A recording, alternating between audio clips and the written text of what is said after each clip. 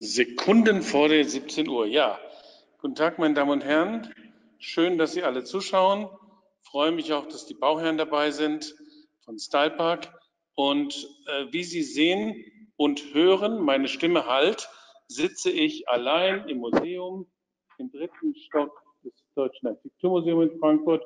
Hinter mir das Haus im Haus ähm, und direkt neben mir die Modelle der Finalisten und ich werde mal mit meiner Kamera jetzt umschalten.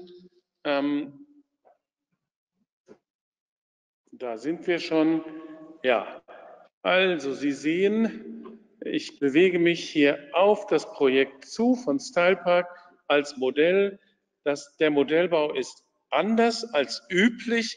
Ich würde behaupten, die Jahre bei Sana haben abgefärbt. Es ist eine Art japanischer Modellbau. Das heißt, ähm, Fotos zum Beispiel der Mauer vom Petersfriedhof werden appliziert auf Pappe und sehen daher täuschend echt aus.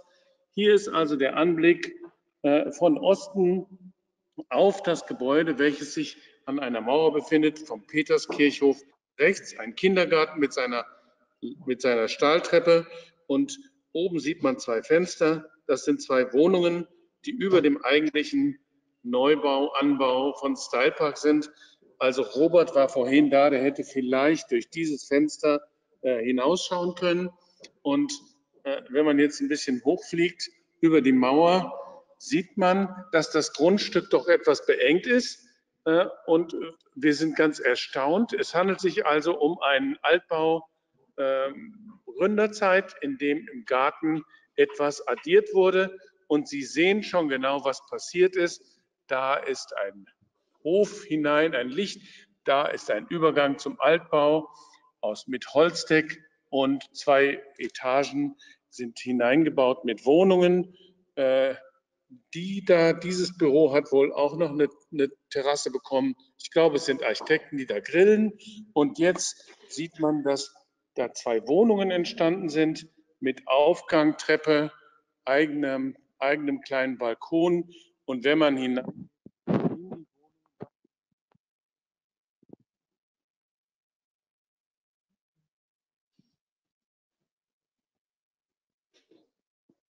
sitzen kann.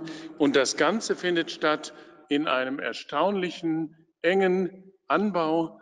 Äh, wie Sie sehen, äh, hat wurde dort gezaubert und äh, dieses Addieren um einen Altbau an dieser Stelle, von dem man kaum etwas merkt, hat uns sehr begeistert. Als wir dann in der Jury dann dort vor Ort waren, hat die Begeisterung angehalten und äh, Andreas Kraftschick wird gleich erzählen äh, Details dazu, aber ich muss sagen, es war eine wunderbare Angelegenheit. Wir waren begeistert von diesem Bau, von den Details, von den Feinheiten und haben uns so entzückt in der Jury-Sitzung, dass aus diesem sehr kleinen Projekt schließlich ein Finalist wurde, äh, der gegen sehr große ähm, Konkurrenten antreten muss, was leicht unfair ist, wenn man so klein ist. Aber äh, so ist das eben mit der Qualität. Qualität kann ja auch im sehr Kleinen vorkommen. Und wir haben uns sehr gefreut, dass NKBAC dabei ist und damit leite ich dann auch rüber an Andreas Kraftschick und steige hiermit aus. Und ich würde dir jetzt den Bildschirm wieder übergeben, Andreas. Kleinen Moment. So, jetzt müsstest, müsstest du die Anfrage wieder bekommen. Ja. Genau, wunderbar. Und ich schalte mich dann auch aus. Bis später. So, dann würde ich zuallererst mal sagen, guten Tag an alle, die man jetzt leider ja nicht sehen kann. Ähm, das ist eine, für mich zumindest etwas neue Situation. Ähm, normalerweise steht man in einem schönen Auditorium und kann sich gegenseitig in die Augen schauen und kann auch so ein bisschen aufeinander reagieren. Das geht heute leider nicht. Nichtsdestotrotz möchte ich Sie ein bisschen mit auf die Reise durch das kleine Projekt nehmen, ähm, in das kleine Projekt hinein und auch in die Zeit, in der dieses kleine Projekt entstanden ist.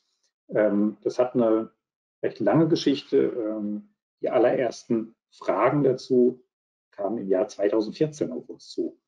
Ähm, ich kann mich an einen Abend erinnern, an dem ich äh, mit Robert Vollert zusammen auf einer Veranstaltung war, wo der Robert mich gefragt hat, ob wir nicht zusammen mal überlegen könnten. Und ich habe gesagt, das machen wir, Robert, irgendwie das gerne total. Aber jetzt muss ich nach Hause.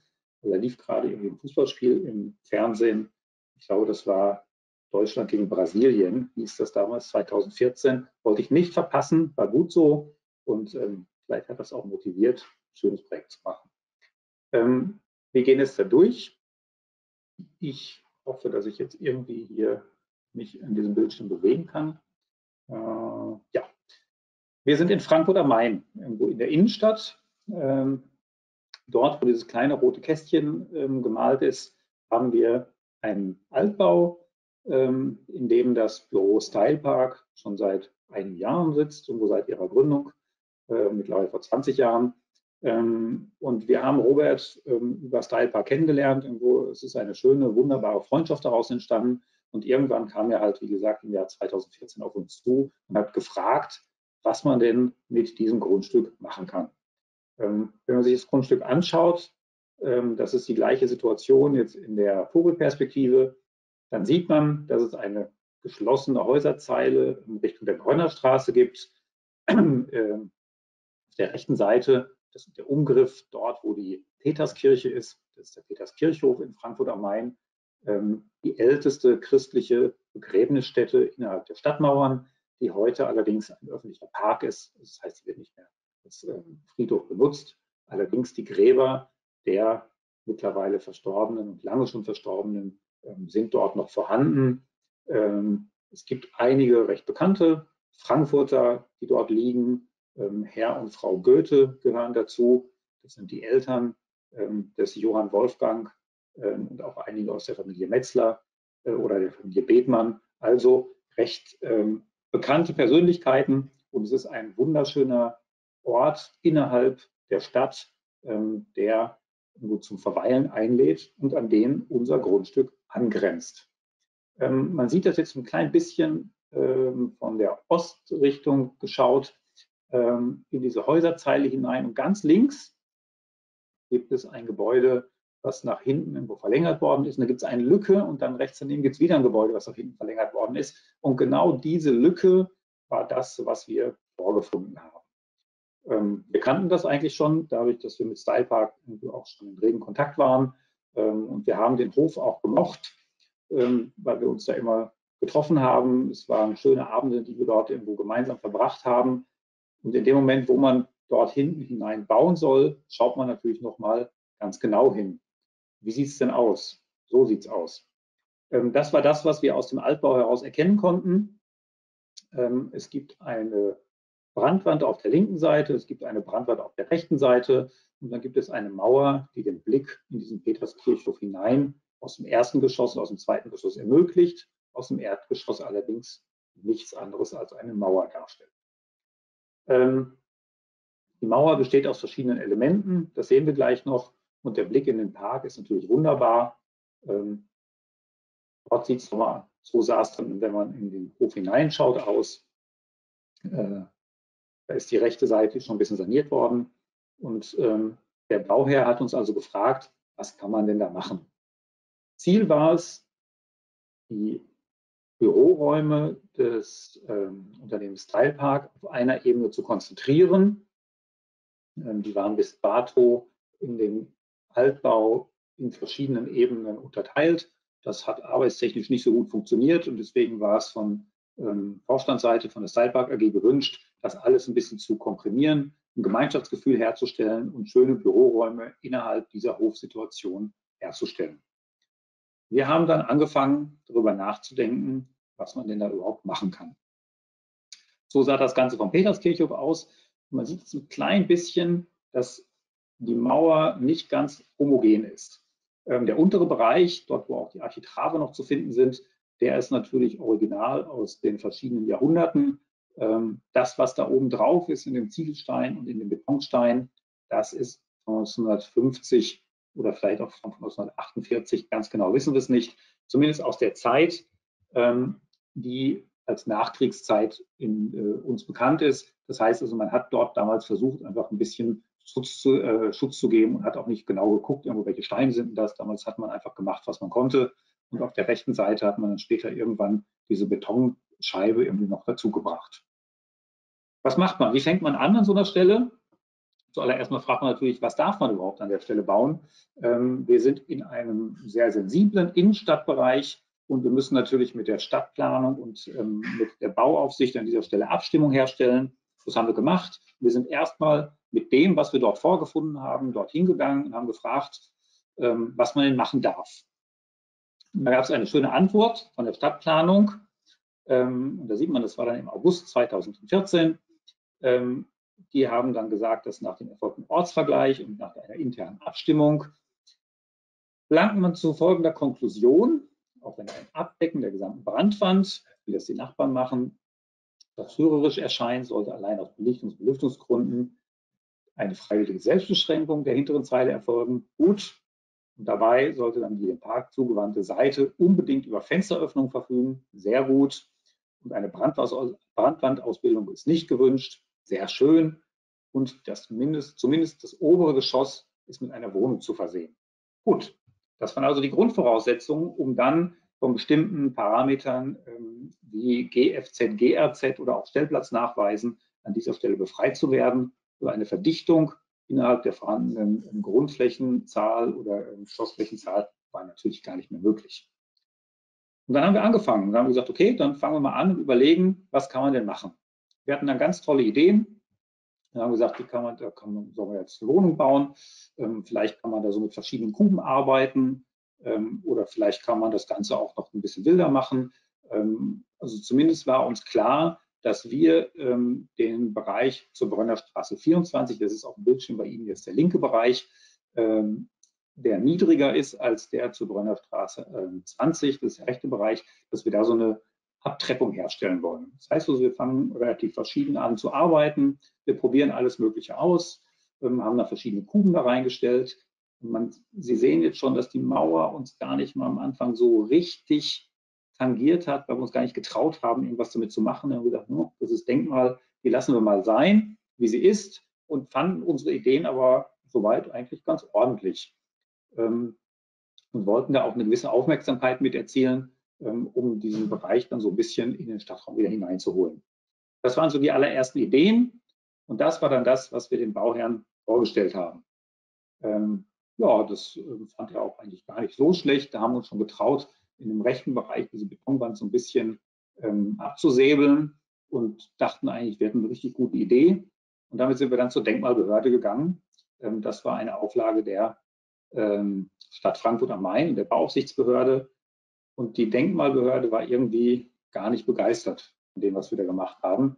Ähm, die sagte mir, also mit Überkragungen und ei, ei, ei, irgendwo, das ist aber eine denkmalgeschützte Mauer. So geht es nicht. Und dann dachten wir so, waren natürlich extrem enttäuscht und haben überlegt, so, warum denn nicht? Und das war eigentlich ganz gut, ähm, weil wir haben dann gefragt, ja, okay, so nicht, was dürfen wir denn dann machen? Also was ist denn Ihre Idee? Ähm, und das hat eigentlich eine sehr intensive und sehr spannende Diskussion äh, zusammen mit der Denkmalpflege ausgelöst, wie man denn an dieser Stelle mit Hinterhofbebauung äh, und mit dieser denkmalgeschützten äh, Mauer im unteren Bereich überhaupt umgehen kann. Ähm, es kam dann eigentlich in den gemeinsamen Diskussionen sowohl mit der unteren Denkmalbehörde, das heißt mit der Stadt Frankfurt, als auch mit der Landesdenkmalbehörde, ähm, kam dann heraus, dass es vielleicht sinnvoll ist, etwas mit der Mauer zusammen zu machen. Das heißt also irgendetwas herzustellen, was mit der Mauer zu tun hat oder aus der Mauer herauswächst. Ähm, das haben wir akzeptiert, das haben wir gesagt, ja, das können wir sehr gut verstehen. Wir mussten dann allerdings nochmal neu denken und haben dann angefangen, darüber nachzudenken, wie man aus dieser Mauer heraus, mit dieser Mauer heraus ein Gebäude entwickeln kann.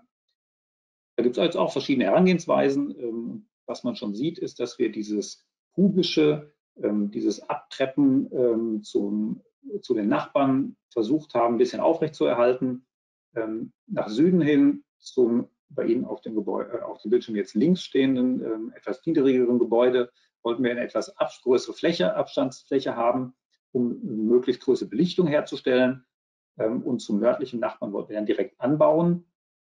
Das hat dann gleichzeitig natürlich die kleine Problematik, dass in dem Moment, wo man nicht auf die Grenze baut, kommt man natürlich in eine Abstandsflächendiskussion. Die muss man einhalten. Ähm, und auch deswegen hat das Kubische an der Stelle eigentlich so ein bisschen geholfen, die Form zu finden. Das sind weitere Pro, ähm, Proben. Ähm, wir arbeiten also mit relativ vielen Varianten. Wir versuchen irgendwo ähm, uns relativ langsam an eine Aufgabe zu nähern und auch in alle Richtungen denken zu dürfen, bis wir eine Lösung haben, die sowohl uns als auch dem Bauherrn, als auch natürlich die genehmigenden Behörden und die Stadt Frankfurt und damit auch die Allgemeinheit ähm, in die richtige Richtung lenkt. Das kam dann zu diesem Ergebnis. Da sieht man, dass das momentan alles natürlich noch total schön weiß ist. Ähm, da ist noch keine Friedhofsmauer zu erkennen, da ist noch kein Nachbar zu erkennen, gar nichts. Ähm, uns hat erstmal in dem Moment interessiert, wie man aus dieser Mauer heraus, mit dieser Mauer ähm, oder aus diesem vorhandenen ein homogenes Ganzes herstellen kann. Wir sind dann natürlich in die Problematik gekommen, äh, nachdem das ganz gut funktioniert hat, unserer Meinung nach, nachdem die Räume auch gut dargestellt worden waren, in eine Materialität zu kommen. Gleichzeitig müssten wir natürlich für den Bauherrn ein Raumkontinuum schaffen. Ähm, der Platz ist nicht groß, den wir da hinten haben. Wir haben also ähm, diesen kleinen Hinterhof gehabt, den haben Sie gerade gesehen. Und ähm, die Frage ist natürlich, wie schließt man ein Bürogeschoss und äh, Wohnung an diese ähm, vorhandene Bebauung, Ihnen auf dem Bildschirm jetzt auf der linken Seite an. Ähm, man sieht, ich weiß nicht, ob Sie jetzt auch diesen Pfeil hier sehen, ich hoffe das mal, dieses Computermaus, das hier ist der Bestandsbau auf der linken Seite. Ähm, hier geht man von der Straße aus ein paar Treppen hoch. Das heißt also, man kommt auf einem Halbgeschoss in diesem ähm, Gebäude an, geht in diese Büroeinheit hier. Das ist der Bestand. Da ist Style Park schon immer gewesen. Da sind sie auch weiterhin. Und wir haben den Bestandsbau dann hier über diese bereits vorhandene Fenstertür erschlossen, haben hier Büroräume eingefügt, haben hier nochmal Büroräume eingefügt und haben sowohl an dieser kleinen Stelle als auch hier einen dann jetzt verkleinerten Hofbereich gelassen. Ähm, den Abstand hier, den wollten wir ganz bewusst haben, um möglichst viel Licht in diese momentan ja nur über den Hofbereich belichteten Räume zu bekommen. In diese Mauer hier, die denkmalgeschützte Mauer, durften wir keine Öffnung herstellen. Diese Öffnung, die hier zu sehen ist, die ist oberhalb der denkmalgeschützten Friedhofsmauer. Und dann kamen wir also gleich auch zu der Problematik, dass wir natürlich hier eine andere Höhe haben als auf dieser Höhe. Und wie gehen wir denn mit diesen verschiedenen Höhenversätzen um?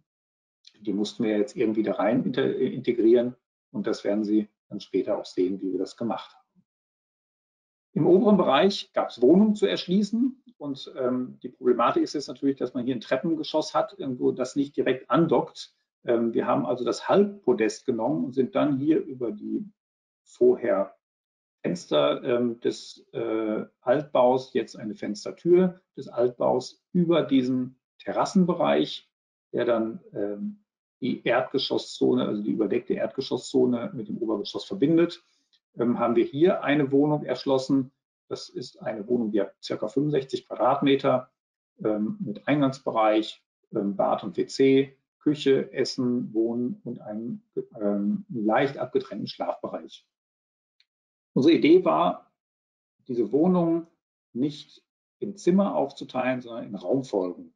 Äh, eine 65 Quadratmeter große Wohnung in Einzelzimmer aufzuteilen, kommt in ganz kleine 10 bis 15 Quadratmeter Zimmer raus. Das fanden wir nicht so gut. Wir wollten eigentlich ähm, den Gesamtraum erfahrbar lassen und ähm, dann über Raumabschnitte, über Raumkontinuum äh, versuchen, den Raum zu gliedern. Ähm, das ist auch über verschiedene Höhenstaffelungen passiert, dass man Bereiche indem man höhere Decken ähm, hat, wo natürlich sich anders auffällt, vielleicht eher irgendwo dann abends sitzt irgendwo und Bereiche, in denen man eine niedrigere Deckenhöhe hat, da dann eher die Schlafbereiche angeordnet hat. Die zweite Wohnung ist dann über diese Treppenanlage hier erschlossen. Da gibt es eine schöne Vorterrasse, ist noch ein bisschen kleiner, ähm, ist dann über diese Tür hier erschlossen, hat einen kleinen Vorraum, der direkt in die Küche führt. Dann gibt es ein kleines Podest. Hier hinten gibt es ein Essen und Wohnen und noch ein kleines Schlafzimmer an der Stelle, das ist jetzt an der Stelle abgetrennt, weil das irgendwie etwas nicht ganz gut möglich war. Und ähm, mit den schönen Blicken natürlich in, die, äh, in den Peterskirchhof hinein, die ja auch von der Stadtplanung gewollt waren. Ähm, wir haben ja gehört, dass Fenster zum ähm, Park gewollt sind. Das haben wir dann auch großflächig umgesetzt. Nachdem das also schön weiß alles irgendwo wunderbar funktioniert hat, kam die nächste Problematik. Welches Material nimmt man eigentlich? Ähm, wir haben unten drunter, naja, irgendwas, was so ein bisschen aus den äh, mittelalterlichen bis barocken Zeiten stammt, mit Architraven. Ähm, und dann haben wir darüber einen Teil aus den 50er Jahren, der uns sehr wichtig war. Wir wollten den erhalten. Wir haben also gesagt, dass wir diese ähm, Mauerreste aus den 1950er Jahren nicht äh, entfernen wollten. Wir wollten die mit in unser Gebäude integrieren, ähm, weil die für uns als Geschichte genauso sinnvoll sind wie alles das, was vorher war. Es gibt kein äh, besser oder schlechter oder wertvoller oder nicht wertvoller. Alles hat seine Zeit, alles hat seine Begründung und wir sind nur diejenigen, die auf das, was vorher war, aufbauen und nicht diejenigen, die das, was vorher war, auch noch bewerten wollen. Das heißt also, wir mussten irgendwas finden, was sowohl die denkmalgeschützte ähm, mittelalterliche oder altertümliche Mauer als auch ähm, unser jetziges ähm, miteinander verbinden. Und ähm, wir haben dann verschiedene Möglichkeiten ausprobiert. Geschlemmtes Mauerwerk, dunklen Klinker, verschiedene hellere Klinker, ähm, großformatige Steine, bunte Steine, ähm, Porotonsteine und sind dann letztendlich dazu gekommen, ein Klinker zu nutzen, irgendwie einen Vormauerstein, ähm, der die Qualitäten aus der vorhandenen Friedhofsmauer mit den Neu Qualitäten des Neubaus ein bisschen miteinander verbinden sollte. Ähm, und wie schafft man es jetzt, so eine ähm, heterogene Struktur in ein homogenes Mauerwerk zu übersetzen? Da haben wir uns überlegt, dass wir mit verschiedenen Steinformaten arbeiten wollen. Ähm, und das sind die Äh, das DNF-Format, das HF-Format und das FF-Format. Das heißt also das ähm, klassische Dünnformat, das Hamburger Format und das Flensburger Format. Die haben verschiedene Steinhöhen. Und wir wollten das in diese gesamte Struktur mit einbringen, um so ein bisschen auch ähm, die, die Unruhe zu zeigen, die in der unteren Mauer ist, irgendwo die diese dann in die obere Mauer, in diese unsere neue Mauer überträgt. Ähm, sowas muss man natürlich dann jetzt planen. Ähm, wir wollten, sehen Sie die Stoßfugen irgendwo von zwei bis zehn Millimeter irgendwo ausbilden, nach der Steinlinge jeweils die Lagerfugen mit zwölf Millimeter. Und für uns war es das allererste Mal, dass wir in dem ähm, oder in dieser Situation mit Ziegelmauerwerken arbeiten. Ähm, wir haben schon Holzbauten irgendwo hergestellt, wir haben mit Holz irgendwo äh, Fassaden gebaut. Ähm, aus meiner Vergangenheit irgendwo habe ich auf Zollverein, irgendwo in Essen natürlich auch schon Klinkerbauten gekannt, aber in dieser Bestandsstruktur mit Klinker zu arbeiten, war für uns neu. Und wir haben uns dann sehr intensiv mit den Klinkern auseinandergesetzt, irgendwo mit dem Stein auseinandergesetzt und wollten den dann sehr ernst nehmen. Das heißt also, dass wir die Fensteröffnungen irgendwo auf das Steinformat anpassen wollten ähm, und die ganzen Ecken ähm, so bauen wollten, dass man natürlich auch keine ähm, Fugen sieht. Und alles das musste jetzt in diese Steine übersetzt werden. Und ähm, bevor man natürlich anfängt zu bauen, muss man eine Ausschreibung machen. Da muss man auch sagen, wie viele Steine von welcher ähm, Sorte möchte man denn irgendwo verbauen, damit der Unternehmer die bestellen kann. Und das musste man alles planen. Und es gibt also von diesem ganz, ähm, von diesem DNF-Format 15 Prozent der Steine, ähm, von diesem Hamburger Format 25 Prozent der Steine und von dem Flensburger Format 60 Prozent der Steine. Ähm, das, sind die ganz, das sind die ganz kleinen, die äh, die meisten Anteile haben. Und da muss man die Fassade dann auch ausplanen. Ähm, das heißt, man muss die Steinschichten zeichnen, man muss wissen, wie viele äh, Steine an welcher Stelle verbaut werden, damit der Maurer nicht am Ende da steht und sagt, huh, ich habe ja von dem Format gar keine mehr, jetzt passt mein Maß nicht. Wir haben es also versucht, in die Fassade zu integrieren und haben dann dieses Bild ähm, entdeckt oder entwickelt. Und dieses Bild ist von der Denkmalpflege und von der Stadtplanung ähm, angenommen worden. Ähm, wir haben daraufhin eine Baugenehmigung erhalten und durften also anfangen zu bauen. Wichtig ist uns die Dreidimensionalität des Ganzen. Das ist natürlich eine schöne Zeichnung, aber so soll es ja später aussehen. Ähm, wir haben dann auch damit experimentiert, ähm, wie die Fensterleibungen ähm, auszuführen sind. Das heißt also, es gibt Fensterbereiche, die eine sehr tiefe Leibung haben. Und dann gibt es Fensterbereiche, die so gut wie keine Leibung haben, um da noch einmal ein gewisses Spiel mit Licht und mit Mauerwerk und auch mit verschiedenen Fensterformaten einfach herstellen zu können. Da sieht man eigentlich schon ganz schön, dass es so eine, so eine Verzahnung zwischen dem historischen äh, 50er Jahre und denkmalgeschützten Mauerwerksbestand gibt und unserer ähm, Mauer, dass die Fenster ähm, natürlich dann auch einen klassischen Rahmen bekommen, der dann auch farblich irgendwie an die Steine angepasst sein sollte und dass alles sehr schön im Steinformat geplant sein soll. Und so sollte es aussehen. Hier sieht man das erste Bild, kann man überprüfen. Wir waren dann nachher der Meinung, irgendwie hat es ganz gut funktioniert. Man sieht jetzt also ganz schön, dass die vorhandene Mauerstruktur mit unserer Mauerstruktur ganz schön in Einklang irgendwo gebracht worden ist, dass die ähm, Kanten ganz schön sind und dass die Fensterstürze, je nachdem, wo wir es uns gedacht haben, eigentlich auch ganz gut umgesetzt sind. Und dieses Bild der Fassade, das entsteht nicht einfach so, ähm, weil der Architekt meint, es sollte so sein, sondern da gibt es natürlich einen Plan. Das heißt, wir müssen genau planen, wie ist diese Verzahnung mit der alten Mauer. Wir müssen ja jemandem sagen, wie soll er das alte abreißen, ähm, wo soll er die Schnittkanten machen. Und dann haben wir natürlich auch Höhen. Äh, wir haben auch noch dahinter liegende Geschosse. Ähm, wir haben auch noch Fenster, die eingebaut werden müssen. Und zur Erinnerung, wir haben verschiedene große Steinformate. Das ist natürlich ein schönes Bild und ist keine Schraffur oder sonst irgendwas, die darüber liegt, sondern es ist natürlich ordentlich ausgeplant. Ähm, das sind die verschiedenen Steine, die verschiedenen Steinformate ähm, in dem Verhältnis 60, 15, 25 Prozent, die wir natürlich vorher schon bestellt hatten, ähm, um da zu zeigen, welcher Stein wird denn in welcher Lage, an welcher Stelle verbaut. Diese ähm, Zeichnung, die Sie jetzt von der Ostfassade sehen, gab es für alle Fassaden. Ähm, wir arbeiten ohne vertikale Dehnungsfugen. Das ist nach ähm, Mauerwerk möglich. Das heißt also, unsere Steinlagen äh, laufen durch, durch das ganze Gebäude. Ähm, und das muss dann auch auf der Baustelle umgesetzt werden. Das heißt, wir ähm, waren dann relativ intensiv vor Ort und haben das mit den ausführenden Unternehmern, mit den Maurern ähm, durchgesprochen. Das war am Anfang ein bisschen wackelig. Wir haben dann eine Woche vor Ort jede einzelne Steinreihe mit denen zusammen eingemessen. Und nachdem das erledigt war, ähm, hat es dann auch gut funktioniert, muss man wirklich sagen. Ähm, das Ergebnis zeigt dann das Bild, was wir vorher geplant haben. Wir waren damit sehr zufrieden. Hier noch einmal die Verzahnung. Da sieht man es ganz schön, wie das Mauerwerk ineinander übergeht.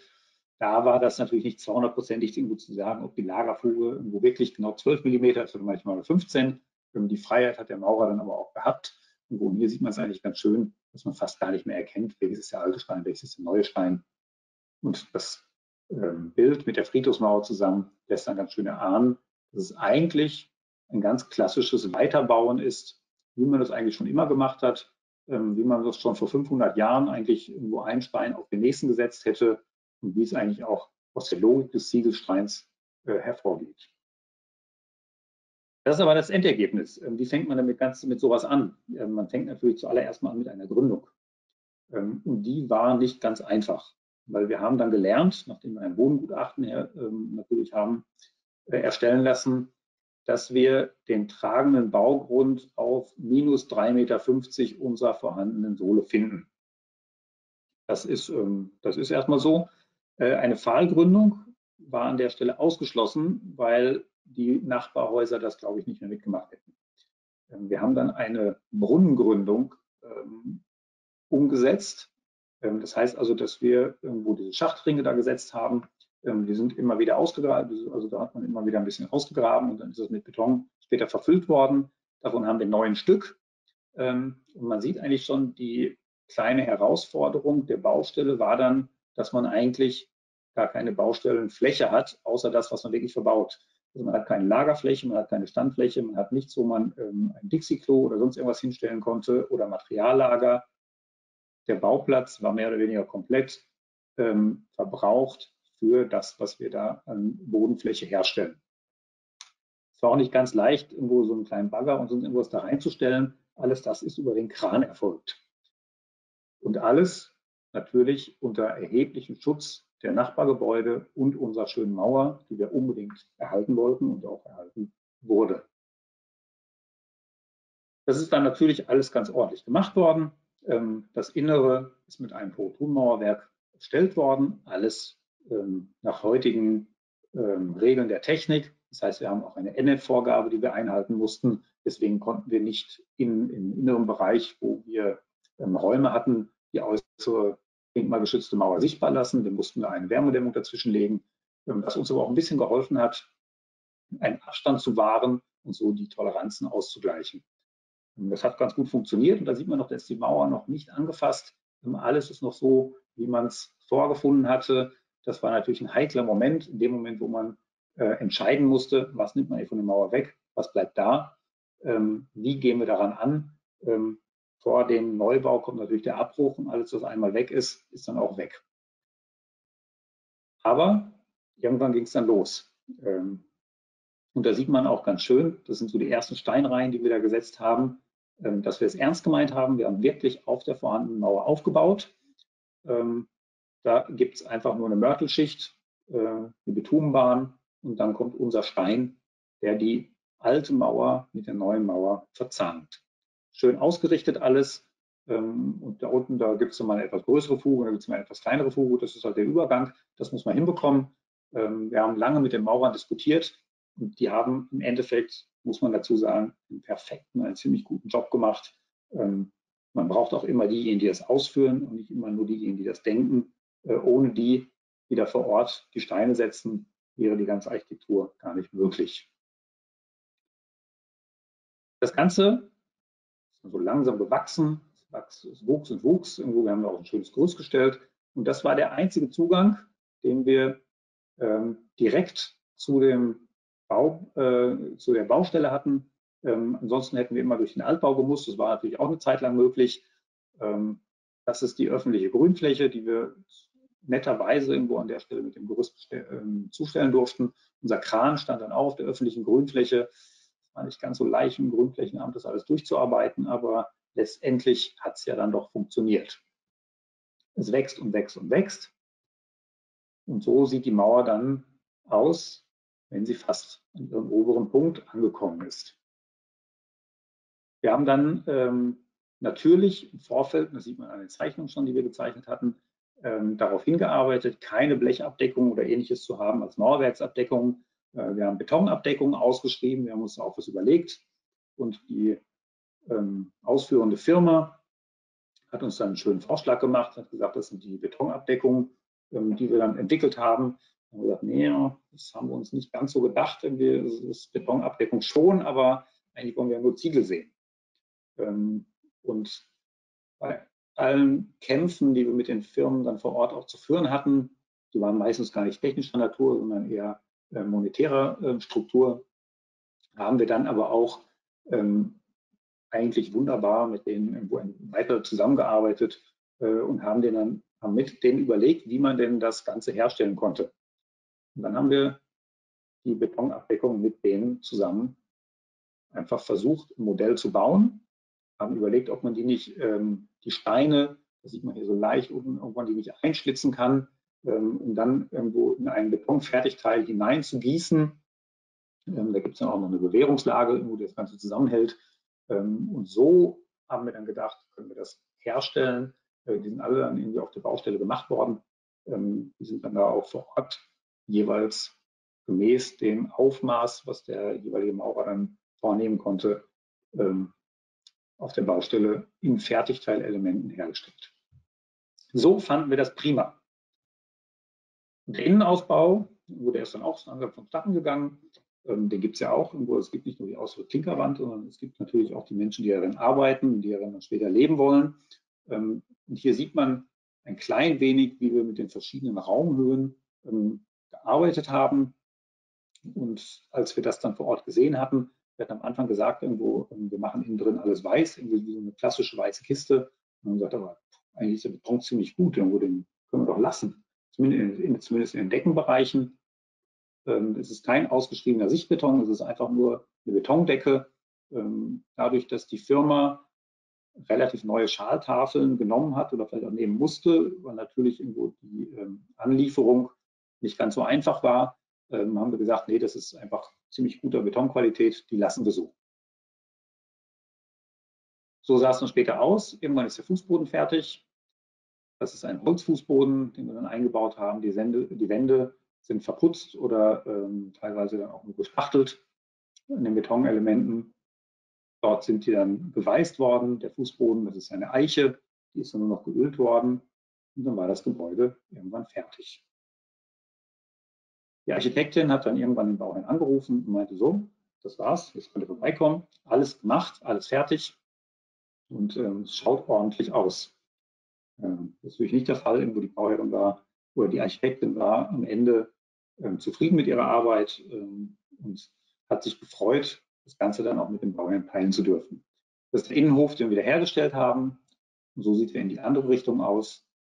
Der Verbindungsbau zwischen vorhandenem Gebäude, zwischen Altbau aus, äh, aus der Gründerzeit und unserem Klinkerbau, der ist nicht verklinkert worden, weil das, das Klinkergebäude gehört zur denkmalgeschützten Mauer und der Zwischenbereich, der ist einfach nur verputzt, um als mehr oder weniger Gelenk zwischen beiden Gebäuden fungieren zu können.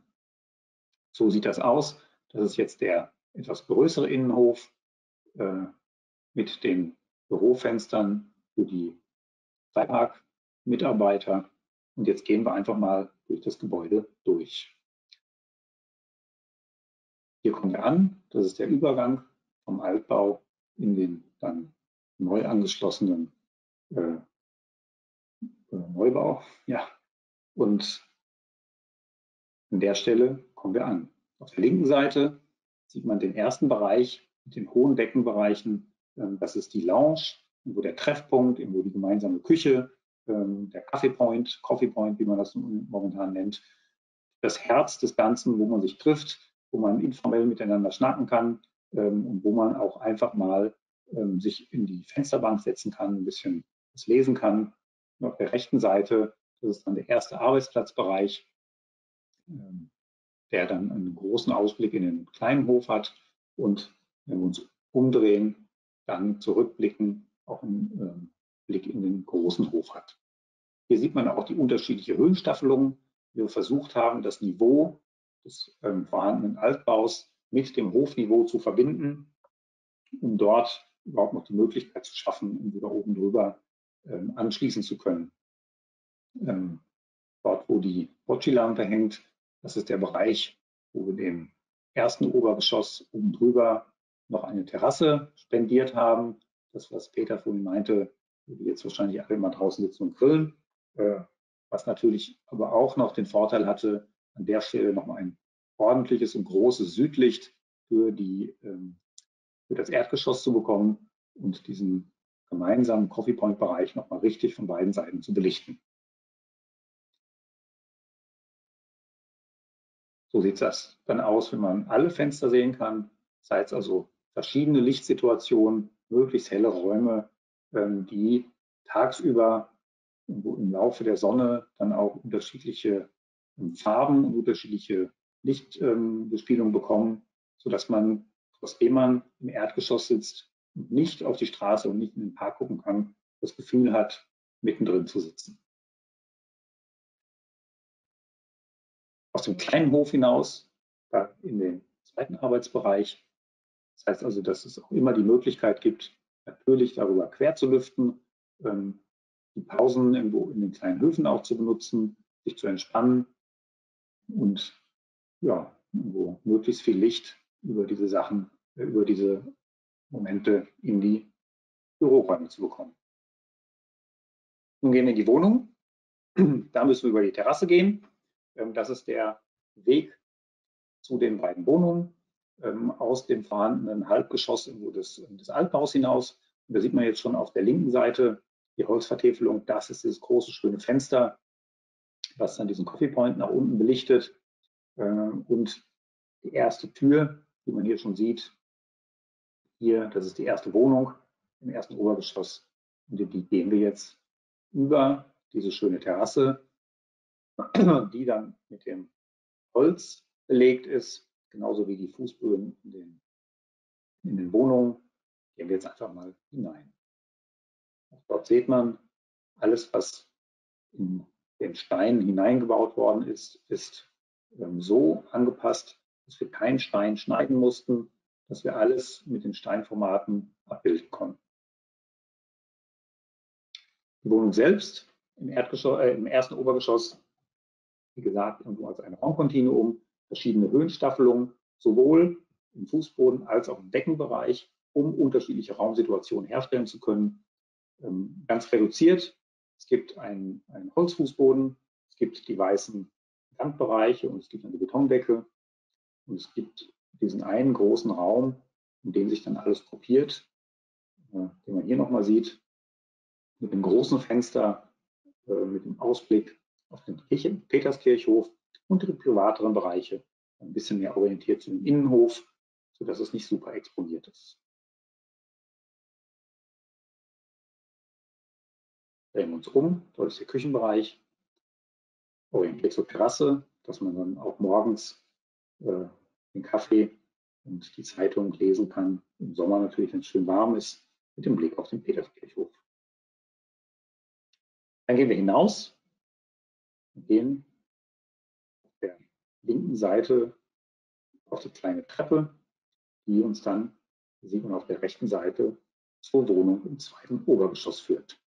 Und da sieht man auch nochmal, wie wir versucht haben, natürlich alle Elemente miteinander anzupassen, den Stein sehr schön wirken zu lassen und das Material des Holzes, das jetzt schon ein bisschen langsam vergraut, irgendwo man merkt es schon so annähernd irgendwo in den Bildern, was dann auch nochmal eine ganz eigene Haptik bringt ähm, und das Ganze irgendwo so sehr natürlich miteinander verschmelzen lässt.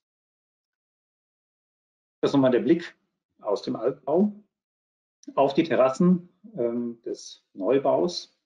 Äh, wir befinden uns ja jetzt eigentlich schon auf dem Weg in die Wohnung des zweiten Obergeschosses. Durch diese Tür gehen wir gleich hinein. Da sieht man natürlich auch ganz schön, wie diese ähm, Abdecksteine oder diese Abdeckelemente aus Beton mit dem vorderen Ziegelbau, wo das Ganze sehr rund werden lassen und so eine schöne Möglichkeit geben, sich da heimisch zu fühlen. Wir wohnen im zweiten Obergeschoss, noch kleiner ist, und die hat ungefähr 45 Quadratmeter, also ein wunderschönes Fenster hier zum Peterskirchhof äh, mit einer kleinen Couch davor, in der man sich sehr gemütlich machen kann. Der Blick in die andere Richtung, Küchenzeile mit dem Esszimmer zum Terrassenbereich und der Eingangsbereich ist dann zur Treppe nach vorne.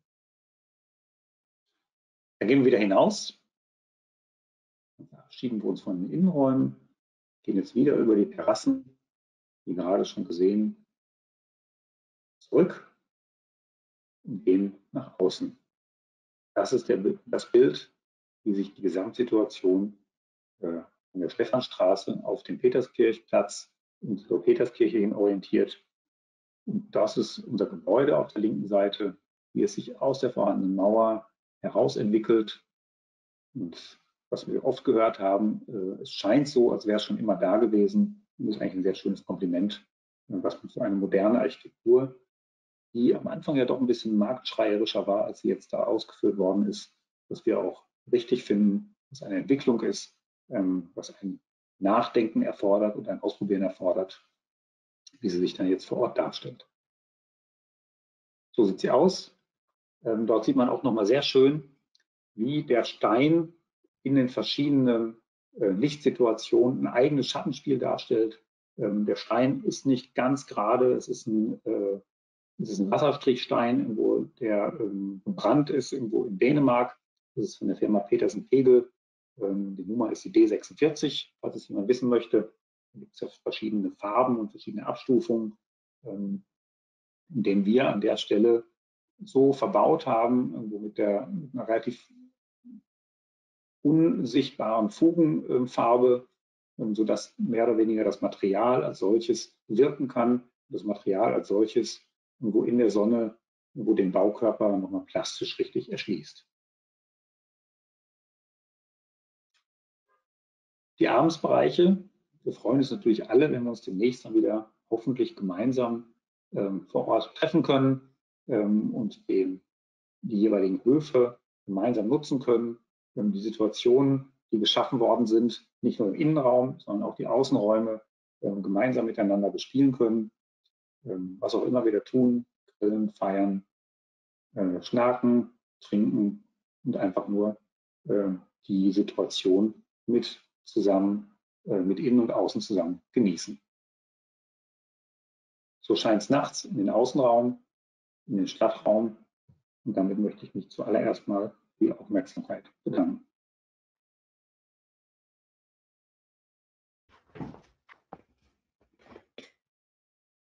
Ja, Andreas, vielen Dank. Gerne. Deinen schönen Vortrag. Jetzt ich hoffe, es ist verständlich geworden. Jetzt kann man Auf jeden gut Fall. nachvollziehen, wieso dieses Projekt ein Finalist wurde, obwohl es äh, von, den, von der Bausumme her, was waren die Kosten unter einer Million? Wenn ich mich richtig ja, erinnere. Ich habe hab, ähm, den Kollegen Chipperfield ja bei der Preisverleihung gesagt, das ist nicht ganz fair, weil er hatte ungefähr das 150-fache Budget zur Verfügung und, ähm, und er musste selber auch lachen. Also ein Finalist unter einer Million und das ist natürlich super. Und die Komplexität ist sehr hoch, die Detailgenauigkeit, die wunderbare Ausführung, all das war sehr überzeugend. Vielen Dank, das hast du gut dargestellt, besonders in der, im Machen dieses Projekts. Und das ist, glaube ich, da werden jetzt sicherlich viele Detailsfragen kommen von den Zuschauern, ähm, die sich jetzt melden. Und äh, Nicole, liest doch mal vor. Ja, davon. genau. Zwei Fragen sind schon gekommen. Moment. Okay. So, die erste Frage ist, woher wusstet ihr, dass die Bestandsmauer die neue Mauer auch tragen wird? Das wussten wir nicht. Wie habt ihr es festgestellt? Naja, also ähm, die, gesamte, die gesamte Mauer irgendwo ist nicht auf der vorhandenen Mauer abgelastet. Ähm, es gibt natürlich in, dem, in den Deckenbereichen, wo haben wir Konsolen eingebaut. Ähm, es sind allerdings Teilbereiche, ähm, die wir wirklich auch aus den Bildern sichtbar gewesen sind, irgendwo belastet haben. Also wir wussten es wirklich gar nicht irgendwo und ich kann mich an eine wunderbare Frage von unserem Bauleiter erinnern, irgendwie, ob wir das denn haben mal statisch rechnen lassen. Ähm, und ich habe dann auf der Baustelle nur erwidert, also wenn wir das statisch rechnen lassen, dann fliegt uns das ganze Ding hier um die Ohren. Ähm, dann müssen wir wahrscheinlich die Bestandsmauer abbrechen. Ähm, und wir haben es einfach gemacht. Und wir haben das deswegen gemacht, wir haben uns das deswegen getraut, weil wir natürlich ein gewisses Maß an Steinen erstmal dort heruntergenommen haben. Äh, und wir haben gesagt, dass das, was wir runternehmen, wird die Mauer wahrscheinlich auch wieder tragen. Da wird nichts passieren. Und ungefähr das, was wir ähm, an Mauersteinen dort runtergenommen haben, haben wir wieder draufgesetzt und der Rest ist oben drüber natürlich dann ähm, über eine Konsole abgelastet. Okay, ähm, dann kriegt ihr ein großes Lob für euer Attika-Detail. ähm, und die Frage dazu ist, wie wurde die Abdichtung am vorderen Ziegelteil sichergestellt? Das verrate ich nicht. ja, das verrate ich doch gerne. Ähm, das ist natürlich kein, kein Detail, was man im Mauerwerksatlas findet oder in der, in der DIN oder ähm, was man im Baukonstruktionsseminar drittes Semester lernt. Ähm, allerdings, wenn man im Baukonstruktionsseminar und äh, richtig aufpasst, dann weiß man zumindest, was man herstellen muss, weil man muss eigentlich nur ähm, sicherstellen, dass die Wand, die unten drunter ist ähm, und diese Dämmung irgendwo ähm, beinhaltet, dass die nicht durchfeuchtet, nicht durchnässt. Die gesamte Mauerschale als 11,5er Mauerwerk ist nicht schlagregendicht. Das heißt, die ist immer irgendwo Schlagregen gefährdet und muss deswegen diffusionsoffen sein. Das heißt also, was ich verhindern muss, ist, dass dauerhaft Wasser von oben eindringt. Äh, und wir haben unter unser schönes ähm, Attika-Detail haben wir eine Bitumenbahn gelegt, äh, also mehr oder weniger eine Sperrschicht, die man im unteren Bereich auch gegen äh, stauendes Wasser, was nach oben drückt, irgendwo verwendet. Genauso haben wir das genommen ähm, im oberen Bereich als äh, Sperrschicht, die Wasser daran hindert, irgendwo von oben nach unten zu, ähm, zu gelangen. Die ist da drunter gelegt worden ähm, und die dichtet mehr oder weniger das, unterliegende, das darunterliegende Mauerwerk vor dem eindringenden Wasser von oben ab. Okay. Dann ist hier eine Frage, warum habt ihr euch für ein Flachdach entschieden? Ähm, das hat sich ein bisschen auch aus der Nutzung heraus ergeben. Ähm, man sieht das ja auf der, dass auf der ähm, linken Seite ähm, gibt es schon ein Gebäude, also jetzt auf dem Bildschirm auf der linken Seite gibt ähm, oder das im Süden anschließende Gebäude war schon ein Flachdach und wir hatten das, ähm, also im, im, nördlichen Bereich schloss dann so ein, ja, ein sehr flaches irgendwo Satteldach an. Ähm, und aus der Kubatur des Ganzen, aus der Kubatur des Steines, ähm, wollten wir eigentlich nur den Stein haben. Ähm, und wir haben natürlich auch ein Abstandsflächenproblem, das heißt, wir haben ein Höhenproblem. wenn wir jetzt darauf ein Satteldach gesetzt hätten, hätten wir, um die gleiche Ausnutzung zu bekommen, wahrscheinlich ein Geschoss weniger bauen können oder hätten mit einem Schrägdach arbeiten müssen. Wenn wir das Satteldach gedreht hätten, hätten wir gegen die gesamte Zeile, die im vorderen Bereich stand, also zur Brönnerstraße hin, mehr oder weniger ein 90 Grad gedrehtes Dach gebaut ähm, was keinen großen Sinn gemacht hätte. Ähm, aus, der, aus dem kubischen heraus, aus dem, aus dem rein monolithischen des Steines heraus, ähm, wäre es noch ein drittes Element gewesen. Das heißt also, wir hätten noch ein weiteres Element als Dachelement gehabt und das wollten wir an der Stelle einfach vermeiden. Okay, die nächste Frage ist, wie ist der Wandaufbau genau, vor allem der hinter der Bestandsmauer?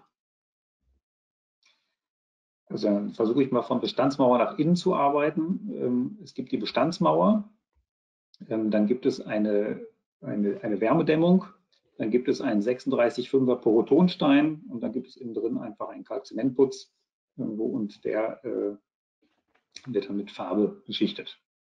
Im oberen Bereich ist der Wandaufbau eigentlich ähnlich. Da wird nur die denkmalgeschütztere Mauer ähm, durch unsere Klinkerschale ähm, ersetzt und die die Deckenbereiche, deswegen ähm, hat man natürlich auch die unterschiedlichen Deckenhöhen, die reagieren so ein bisschen auf die, ähm, auf die auf das, also auf diese ausgenommene, heterogene, vorhandene Mauer. Ähm, das heißt, die springen ein bisschen und dadurch irgendwie haben wir das erste Obergeschoss etwas weiter nach außen ziehen können äh, und haben dadurch die, ähm, die Dicke der Friedhofsmauer gegenüber der Dicke der unserer Vorsatzschale ähm, wiederherstellen können. Also das haben wir ausgleichen können. Das wird über die Deckenschalen hergestellt. Mhm. Welche Holzarten habt ihr für die Fußböden und für die Treppe in der oberen Wohnung genutzt? Ähm, die, Innen, die Innenbereiche sind alle aus Eiche. Ähm, das ist Eiche, Sägerau, ohne Phase geölt. Kommt aus dem Vorarlberg. Ähm, wir haben da ganz gute Kollegen, ähm, die zufällig gerade hier äh, in Frankfurt für uns ein anderes Projekt bearbeitet haben, wo der Fußbodenleger hat ein eigenes Sägewerk und ich habe ihn gefragt, ob er äh, das nicht machen könnte. Und wenn er schon mal da war, dann musste er auch den Außenbereich machen. Aber das ist Lerche, äh, die ist auch mehr oder weniger in dem, in dem Treppenbereich, wo ist auch eine Lerche. Okay, dann ist hier noch eine Frage zum Sichtmauerwerk und Abdeckung als mhm. Kombination von Ziegelstein plus Betonplatte. Wie werden hier die unterschiedlichen Wärmespannungen kompensiert? Und wie erfolgt die Verbindung zwischen den beiden Materialien? Zwischen Beton und Stein? Mhm. Die sind miteinander vergossen, die sind miteinander vergossen und über eine Bewehrung miteinander, ähm, äh, miteinander verbunden. Okay. Und also, die, die, die, werden reißen. Also, also da wird es irgendwo mhm. immer einen Riss geben. Ähm, das ist uns bewusst. Ähm, aber ich habe als schönes Beispiel, wo ich habe die, ich hab die, die Bauarbeiter immer überzeugt und ich habe gesagt, irgendwie, es kann doch nicht sein, guckt doch mal nach draußen, da gibt es eine wunderschöne alte Kirche und eine Mauer, die steht seit 500 Jahren. Das kann doch nicht sein, dass wir es nicht mehr hinkriegen, irgendwo nicht mit einem Stein zu bauen. Ja. Haben sie verstanden. Peter hat sich gerade gemeldet. Wolltest du was dazwischen sagen? Was sagt denn der Denkmalschutz nachher und besonders jetzt nach einiger Zeit? Wie sieht der denn jetzt die Behandlung der, der Wand über der Mauer zu Peterskirchhof? Ähm, es gibt ja, also ich hatte es ja gesagt, es gibt die untere Denkmalbehörde und die obere Denkmalbehörde. Von der oberen Denkmalbehörde habe ich ein direktes Feedback. Irgendwo, das ist der Landesdenkmalkonservator, das ist der Heinz Wionski der ist schwer begeistert ähm, und der mag das Gebäude und äh, die gesamte Herangehensweise sehr, ähm, weil er meinte, es ist eine wunderbare Verbindung äh, eines modernen Bauwerks mit einer vorhandenen Struktur. Ähm, und von der unteren Denkmalbehörde habe ich kein direktes Feedback bekommen, allerdings von der Stadt Frankfurt selbst, ähm, von Mike Josef ähm, direkt und so habe ich auch nur gehört, dass er das Gebäude ähm, sehr gern mag. Sehr schön. Hier ist noch eine Frage. Wie viele Arbeitsstunden sind bei euch in das Projekt geflossen? Ich habe sie nicht gezählt. Und äh, ich glaube, das wäre auch das, das, das wäre ein Frustrationsfaktor, den ich, den ich gar nicht zählen möchte. Ähm, es ist natürlich kein Projekt, mit dem man ähm, reich wird, äh, mit dem man irgendwo wahnsinnig viel Geld verdient. Ähm, das ist natürlich auch immer, also wir haben das Glück in, dem, in unserem Büro, das Ganze auch über andere Projekte ein bisschen querfinanzieren zu können. Allerdings, ganz ehrlich, irgendwo, ich hätte keine Lust, an so einer Stelle ein Projekt zu bearbeiten ähm, und an irgendeiner Stelle aufzuhören, nur weil ich jetzt die Stunden gezählt habe und irgendwie, also entweder macht man so ein Projekt mit dieser Leidenschaft so fertig irgendwie oder es wäre nicht meine Art. Also ich, anders kriegen, würde ich das nicht hinbekommen, persönlich. Ja, das wäre doch jetzt ein guter Zeitpunkt, um Robert Vollhardt nochmal zuzuschalten, würde ich sagen. Robert, du kannst dich ja, selber. Ja. ja, wunderbar. Sehr schön. Magst du vielleicht was sagen zu der Zusammenarbeit mit Andreas, wie das abgelaufen ist? Habt ihr, gab es da auch mal Reibereien oder wart ihr einfach mit allem einverstanden? Hm, ich würde es jetzt nicht so bezeichnen, dass wir mit allem einverstanden waren. Ich glaube, wir haben hier und da das Projekt auch äh, sozusagen äh, mitgeprägt. Äh, Andreas, ich hoffe, du legst jetzt. Ähm, es gab aber, ja, glaube ich, immer einen Weg, dass wir an das, an, das, an das Ziel gedacht haben und gesagt haben, wir wollen eigentlich ein tolles Projekt hin, hinstellen und da dem auch untergeordnet haben, dass wir auch Widrigkeiten in dem Projekt hatten, für die weder die Architekten noch wir als Bauherren wirklich am Ende des Tages äh, verantwortlich waren. Und wir haben immer wieder einen Weg gefunden, sehr, sehr gut und konstruktiv miteinander zu sein. So gut, dass wir von unserer Seite aus auch morgen mit denen wieder arbeiten würden und ähm, gleich was Neues machen würden. Wir haben im Moment gerade nichts am Start, aber wir sehen uns noch und äh, sind, glaube ich, auch noch so, dass wir zusammen Wein trinken oder auch mal wieder was essen. Insofern alles gut. Sommer war toll. Robert? Also, ja. Das, das, das, Schöne war, dass der Robert unsere Stunden auch nicht gezählt hat. Nee. ich habe, nee, aber ich habe, ja, genau. Und wir waren sehr geduldig. Ich glaube, das kann man auch sagen, ja. Äh, Robert, ihr erlebt das Gebäude ja inzwischen tagtäglich zu verschiedenen Tageszeiten, zu verschiedenen Jahreszeiten. Und ähm, welche Situationen oder welche räumlichen Situationen sind denn jetzt deine liebsten in dem ganzen Bauwerk? Ja, das Schlimme ist eigentlich, das ist ja oft so, dass das auf der anderen, äh, auf der anderen Seite liegende Stück Gras immer grüner ist als das, worauf man sich gerade befindet. Das Schlimme ist wirklich, dass bei diesem Projekt die beiden Wohnungen, die oben drüber sind, äh, uns allen eigentlich so gut gefallen haben, dass mein Sohn immer sagt, er zieht da in zwei Jahren ein. Und ich eigentlich immer gesagt habe, ich würde da auch gerne wohnen, weil ich sie so ideal finde. Sie ist, sind halt leider nur für eine vierköpfige Familie dann doch etwas ähm, raumbeengt. Ähm, das mal vorab, also die Wohnungen sind wirklich fantastisch geworden. Aber, und das ist, finde ich persönlich, da wir wirklich jetzt seit über einem Jahr da auch äh, schon arbeiten dürfen, dass diese gesamte Arbeitsatmosphäre in dem Projekt fantastisch ist. Wir hatten am Anfang wirklich Sorge, dass es zu dunkel ist und dass es so ein bisschen das Gefühl ist, dass man in so einem, in so einem äh, fritzelmäßigen Kellerloch da irgendwie eingebunkert ist, weil wir auch wirklich nur dieses, bei einigen Räumen nur diese kleinen Fenster haben. Ähm, aber das ist wirklich eine absolute Bereicherung und ein, ein Raumerlebnis, was man hat durch die unterschiedlichen äh, Deckenlevel und die Boden-, Treppen-, Stufensituationen, die wir da haben, die mit diesen ineinandergehenden Räumen wirklich wunderbar ist. Also fantastisch. Und die Höfe sind auch traumhaft, also sowohl jetzt, aber auch wenn die Sonne scheint, äh, machen die eine große Freude, weil sie so unterschiedlich sind. Und äh, man merkt so, wenn man eben mal so ein Zweiergespräch führt, dann geht man in den kleinen, wenn man mit mehreren Leuten mal irgendwie was essen will, dann geht man in den großen. Also wirklich ähm, äh, Chapeau. Und ähm, wir fühlen uns übrigens auch sehr geehrt, dass wir überhaupt in diese Auswahl äh, vom Dammpreis gekommen sind und haben aber das Gefühl, dass wirklich die bei dem 150 äh, fach wenigeren Budget auch wirklich ganz tolle eine architektonische Qualität geschaffen wurde, die fantastisch ist. Vielen Dank. Andreas, hier kam jetzt noch eine Frage, die würde ich dir noch stellen. Mhm. Ähm, ob du noch was zu euren zukünftigen Projekten sagen kannst, woran ihr gerade arbeitet, was so in Zukunft kommt. Was die Zukunft bringt, weiß man immer nicht so ganz genau. Ähm, ich kann sagen, was wir jetzt gerade ähm, bearbeiten. Ähm, wir, also wir sind gerade dabei, ein ähm, Zweifamilienhaus irgendwo im, Fra im, Frankfurter Berg, also im Frankfurter Norden, äh, Süden ähm, fertigzustellen.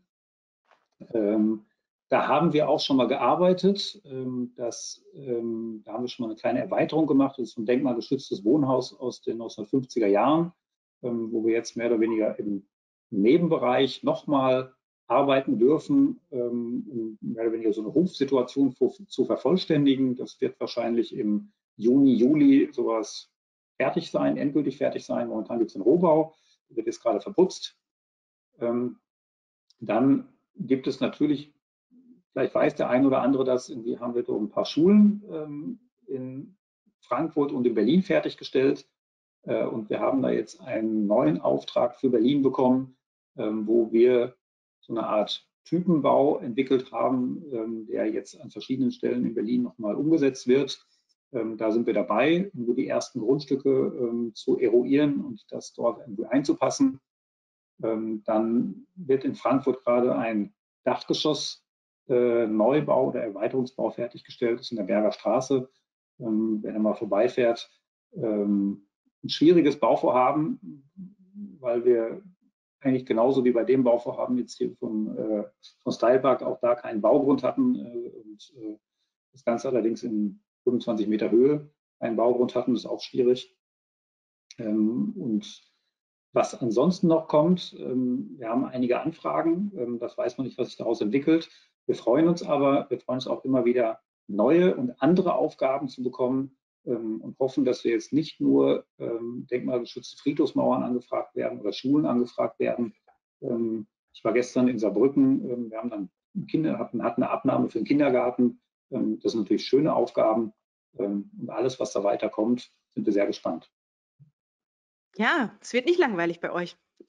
Ja, hoffentlich. Ja, sehr schön. Mhm. Ähm, Gut, dann vielen Dank. Peter, ich gebe dir nochmal das Wort, bevor ich dann hinterher nochmal auf ein paar Dinge hinweise. Ja, vielen Dank. Es war eine runde Geschichte. Wir haben 18.01 Uhr, eine Stunde genau. Ähm, ich finde ein sehr erfolgreiches und sehr äh, effektives Format und auch sehr schön für die Zuschauer, ähm, genau die Details zu hören und den zu verfolgen. Ich danke dir, Andreas, sehr. Und ähm, ich denke, Nicole wird jetzt erzählen, was wir noch machen werden. Und wir sind mittendrin in der ganzen Geschichte. Ich bin begeistert von dieser Art von Webinaren und wir werden das im DRM äh, auch für die Zukunft, auch in analogen Zeiten ähm, weiter verfolgen. Ich finde das sehr spannend. Vielen Dank, Anju. Gerne. Und für uns ist das natürlich auch eine Möglichkeit, mit Ihnen ins Gespräch zu kommen, auch in Corona-Zeiten, wo wir uns jetzt nicht sehen können. Wir hoffen natürlich, dass wir uns bald wiedersehen. Ähm, nächste Woche haben wir am 7.5. um 17 Uhr ein weiteres Webinar zum DRM-Preis mit Wim Eckert zum Taz-Neubau. Und am 14.5. haben wir äh, Alexander Schwarz von David Chipperfield mit dem Gewinnerprojekt bei uns. Es wäre schön, wenn Sie sich darüber auch wieder anmelden würden. Hier habe ich nochmal die Adresse eingeblendet, wo auch die Anmeldung ist www.jung.de-architekturwebinare. Und die vergangenen Lectures, die wir hatten, können Sie gerne äh, auch unter den beiden Links, die Sie hier sehen, nochmal abrufen.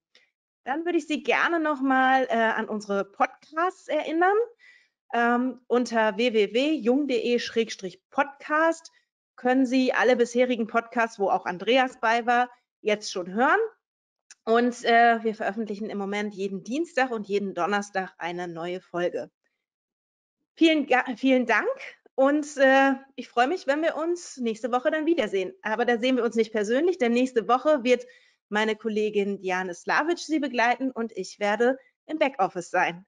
Dann wünsche ich Ihnen noch einen schönen Abend. Danke Andreas, danke Peter und wir sehen ja. uns nächste Woche. Ciao. Tschüss. Tschüss.